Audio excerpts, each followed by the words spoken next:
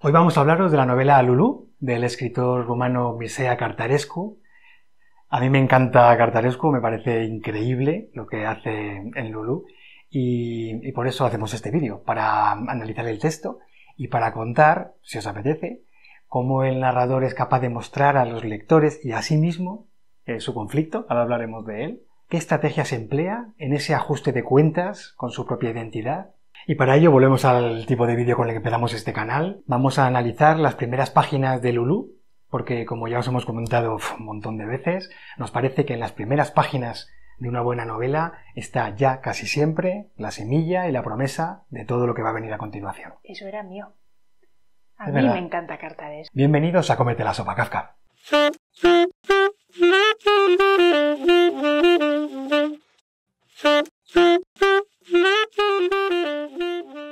Es una novela escrita por Cartarescu, publicada en Impedimenta y con traducción de Marian Ochoa Derive Urdingio. Nombrecitos se las trae. Sí, pero esta mujer tiene que ser una crack también. Sí. La novela nos habla de unos adolescentes en un campamento de verano en la Rumanía de los años 70. Nos habla de Víctor, que es el protagonista, es ese muchacho solitario que prefiere los libros a las fiestas, alguien con el que en absoluto me identifico jamás bajo ningún concepto. Es un chico que desprecia a sus compañeros de campamento porque sus compañeros son brutos, pero a los que también, claro, envidia porque hacen bromas por las noches y se divierten con las chicas. La última noche del campamento, delante de la hoguera, todos se disfrazan y Víctor descubre a su compañero Lulú maquillado y travestido de mujer. Algo de esa visión le impacta. No puede dejar de mirarlo. Diecisiete años después, un Víctor adulto, escritor de éxito, quizás el propio Cartarescu, no sabemos, puede ser, regresa al recuerdo de ese campamento y esa hoguera y esa visión de Lulú con los labios pintados para ajustar cuentas consigo mismo. Ya desde la primera página vemos que el narrador, el propio Víctor, adulto, nos cuenta un conflicto personal, un conflicto de identidad que no parece capaz de, resolver. Amigo, ¿cómo voy a luchar contra mi quimera? Querido compañero, tú, el único para quien escribo, para quien he escrito siempre, ¿cómo voy a escapar de ese carmín que se extiende por mi vida como en el espejo de un lavabo y que no desaparece con nada? Bien al contrario, que está cada vez más seco, más sucio y más diluido. ¿Cómo voy a sacar de mi cerebro aquellas tetas de guata, aquella falda de puta vulgar, aquella peluca, aquel artificio, aquel manierismo? Hay que tener un par de narices para arrancar una novela así, ¿no? Con ese texto que dices tú, pero madre mía, ¿qué, me están contando? ¿Y a quién se lo están contando? Cartarescu, no sabemos si le conocéis, es hoy uno de los grandes escritores europeos, admirador de Kafka y bueno, que aparece en las listas de, de candidatos del Nobel desde hace un montón de años. A mí me flipa Cartarescu, me encanta Cartarescu. Cartarescu, hemos leído en una entrevista que le hacen en Jotdown, dice, escribo en primer lugar para mí, para entenderme a mí mismo.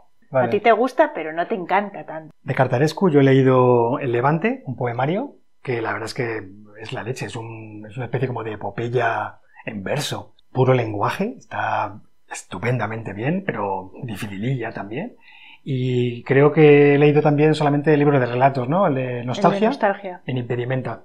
Unos cuentos muy buenos. Muy buenos. Para destacar El Ruletista, que Impedimenta también sacó el libro aparte. Sí, una, belleza de cuento largo. ¿Alguno más que te haya gustado? El de Rem, a mí me gustó mucho el de Rem y el último, el que cierra. Sí, el arquitecto. Qué pedazo de cuento el arquitecto. Cómo se vuela. Pero bueno, vamos a Lulú, porque si no. Vamos a Lulú. Hablábamos hace un momento que en Lulú el narrador protagonista enfrenta un conflicto que es un conflicto personal. Un conflicto de identidad, eso es. Así que podemos preguntarnos de qué manera afronta el narrador, el protagonista de Lulu, ese conflicto.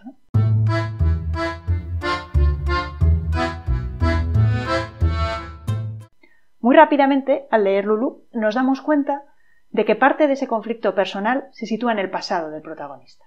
Vamos a ver, si os apetece, cómo nos damos cuenta de eso, porque es muy bello como lo hace Cartaresco. El narrador podría llegar y decir hace 20 años me pasó no sé qué, pero no hace eso en absoluto. Fijaos lo que sí hace. Dice ¿Cómo voy a escapar de ese carmín que se extiende por mi vida como en el espejo de un lavabo y que no desaparece con nada, bien al contrario, que está cada vez más seco, más sucio y más diluido?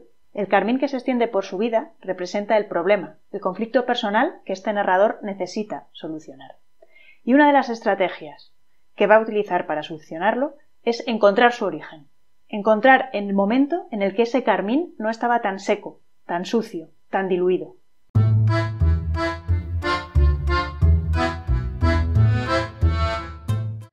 Intuimos que el narrador de Lulú tiene que buscar en su pasado.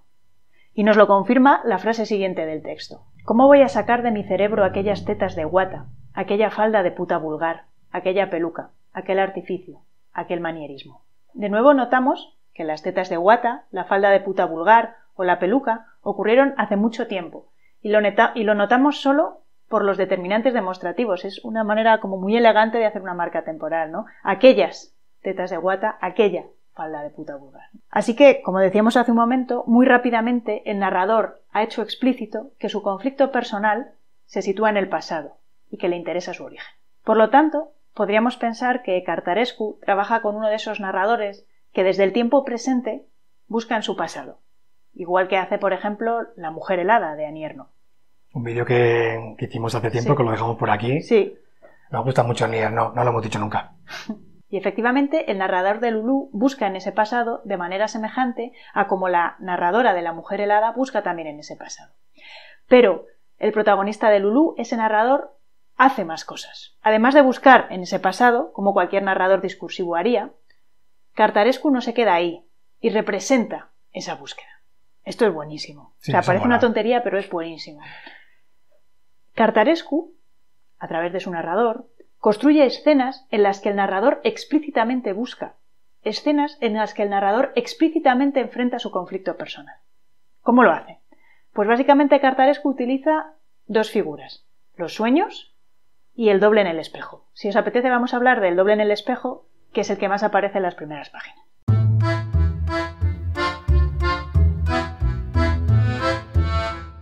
Aparece ya en la primera frase. Así abre el texto Cartarescu. El narrador se dirige a ese doble y le dice Amigo, ¿cómo voy a luchar contra mi quimera? Querido compañero, tú, el único para quien escribo, para quien he escrito siempre, ¿cómo voy a escapar? En ese momento del texto, acabamos de entrar a la novela, todavía no sabemos que el narrador se dirige a su doble en el espejo. Se lo llama Víctor, pero no sabemos ni quién habla, ni quién es Víctor, ni, ni que son el mismo, claro. Exacto. Queda claro un poco más adelante que está hablando alguien en el espejo, Todavía no sabremos qué es su doble, pero un poquito más adelante nos va aclarando cuando el narrador dice En el aire oscuro me he examinado en el espejo de encima del lavabo y he visto un rostro que, en el silencio y el frío y la soledad de esa habitación minúscula pero infinitamente alta, no era de hecho mi cara, sino la tuya, Víctor, mi querido y único amigo. Tú me mirabas porque yo te he llamado, y es tu inicial la que he escrito yo con mi dedo en el espejo sobre tu imagen después de empañarla con mi aliento, he sonreído porque en ese momento he pensado que tú no podrías ser atacado por esta enfermedad de mi mente que se llama Lulú. Qué bueno, ¿no? Bueno, nos hemos enseñado el libro, pero qué bonita, qué bonita la edición de Impedimenta. Sí. Qué bonita. ¿Y quién se la curra de Emilia con todas las notitas por aquí, como siempre? Sí, solo hay dos notitas. Fijaos la representación que hace de la búsqueda Cartaresco. No tenemos solo un personaje atormentado, que habla y busca en su pasado, como, como en el texto de la mujer helada, sino que aquí, además, el narrador habla con su doble, en el espejo, empaña su inicial con su aliento, se tranquiliza al pensar en su doble, porque sabe que ese doble no puede ser atacado por Lulú, no puede ser atacado por la enfermedad de su mente que es Lulú. Esto no es muy diferente de lo que hace Stevenson con el extraño caso de Dr. Jekyll y Mr. Hyde. La diferencia es que en el texto de Stevenson el narrador solo opera en la representación. El conflicto personal, lo decía antes Emilia, está representado en una serie de escenas que arman la trama, el argumento, y ya está, no se hace más. En Lulú, además de la búsqueda en el pasado, de la que ya os hemos hablado, también hay una representación del conflicto personal semejante al que se hace en Dr. Jekyll y Mr. Hyde, aunque con mucha menos trama.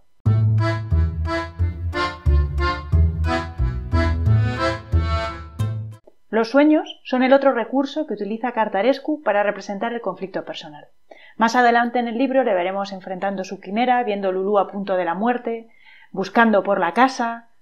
Es una representación de esa búsqueda. Es bonito, ¿no? Es como que... Muy bonito, sí. muy bonito, porque normalmente esas cosas no están juntas. Y normalmente lo que es la magia, lo que es ese texto como que se diluye y flota, está como en el pasado, porque lo tienes lejos y porque es la memoria la que deforma, pero raras veces leemos novelas donde en el presente, el narrador actual que, que hace esa búsqueda, tiene en ese presente es- ese mundo nebuloso que tiembla, ¿no? Eso es. Y eso aquí lo hace muy bien Cartarescu porque es como que tiemblan los dos tiempos, el pasado y el presente, ¿no?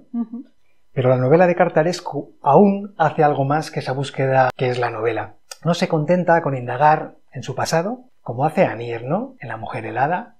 No se contenta con representar esa búsqueda a través del doble en el espejo, como hace en Dr. Jekyll y Mr. Hyde, o, en Los sueños. Lulú de Cartarescu recurre a una tercera estrategia, que es el plano de la enunciación, para reforzar esa búsqueda de la identidad de, la- que os hemos hablado ya unas cuantas veces en el vídeo.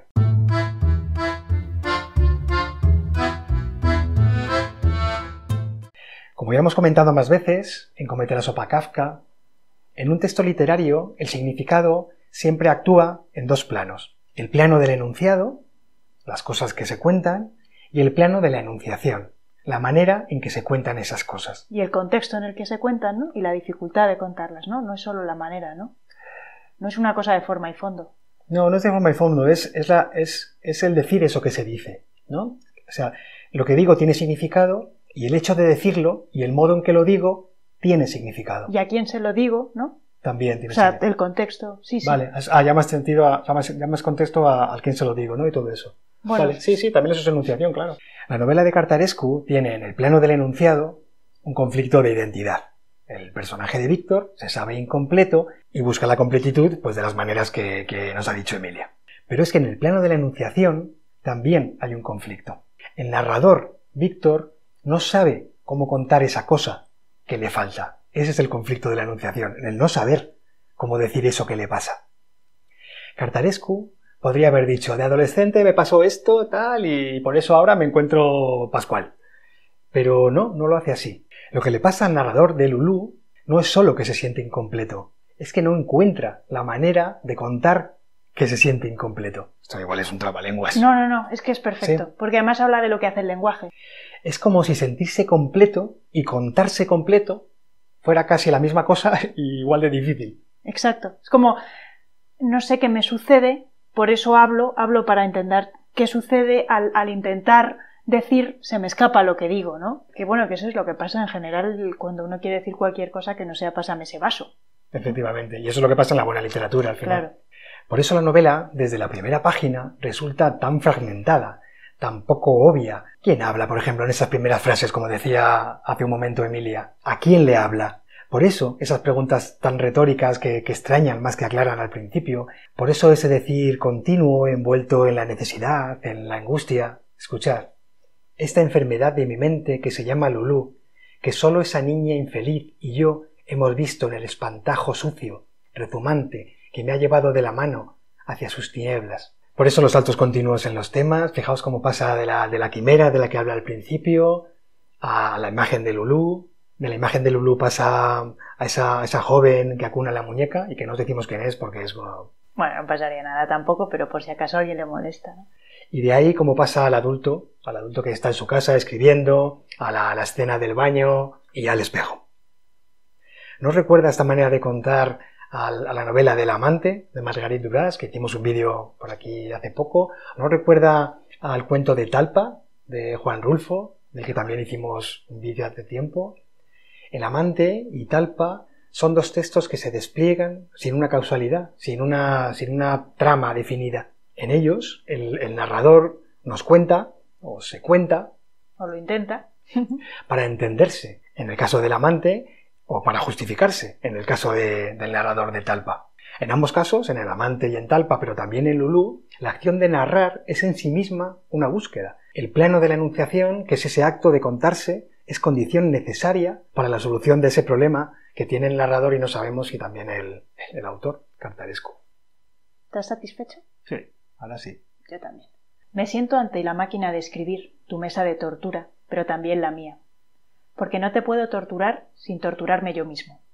Tal y como no puedes abrir con el vesturí tu propio forúnculo, para vaciarlo de pus, sin gritar y sin retorcerte, como un poseso. No sé si ha quedado claro en lo que llevamos de vídeo, pero a mí me encanta Lulú. Es una novela corta de Cartarescu que, que nos habla de la dificultad de saber quién es uno mismo y también de la dificultad de contar esa propia dificultad. Eh, es bestial. A mí me gusta mucho. Cartarescu maneja muy bien el lenguaje y es un libro al borde del abismo, pero no. Luego hace un montón de cosas que no da tiempo a contar. O sea, no tiene sentido, pero tiene como bastante orden dentro, de, dentro del texto, ¿no?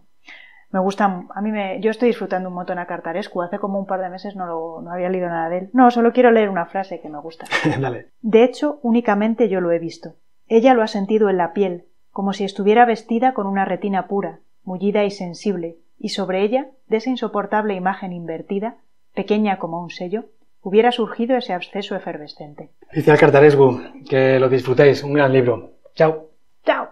Ahora cuando pienso en Rumanía pienso en Cartarescu y en su pelo al viento.